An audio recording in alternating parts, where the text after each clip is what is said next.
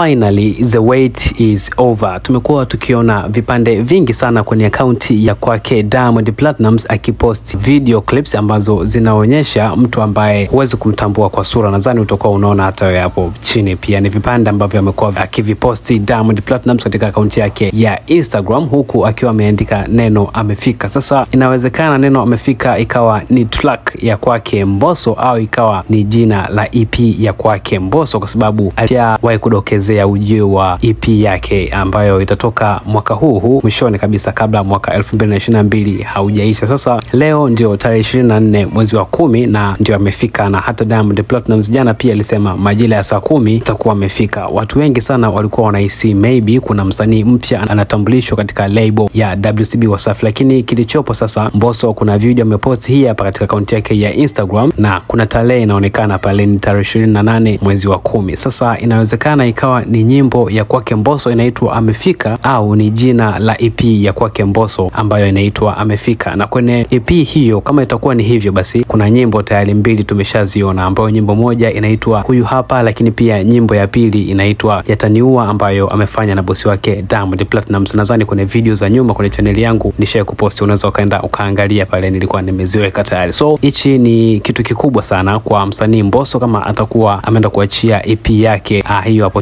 tarehe 28 na mwezi wa kumi kwa sababu itakuwa ndio EP yake ya kwanza. Mimi binafsi sijai kusikia Mbosso ametoa EP, so hii hapa itakuwa ni EP yake ya kwanza, so tutegemee makubwa zaidi, lakini pia unaweza ukadondoka na comments hapo chini pindi itakapofika tarehe ishirini na nane. Nitakuwa hapa hapa kukujuza kuhusiana na kile kitakachokwenda kutokea, kama je, ni Mbosso anaachia ngoma inaitwa Amefika au anaachia EP yake ambayo ndio itakuwa inaitwa Amefika. So nikasema habari kubwa kabisa kama hii hapa, isiwe kesi ni kusogezee wewe kama familia yangu wa Fendi TV ili mambo mambo yaweze kwenda sawa zaidi, na kama huja subscribe katika channel yetu pendwa ya Fain TV, unaweza ukabonyeza alama ya kengele itakayotokea mbele ya neno subscribe chini ya video hii hapa, ili tuweze kwenda sawa zaidi. Tupia komenti yako na subscribe kwa habari zaidi.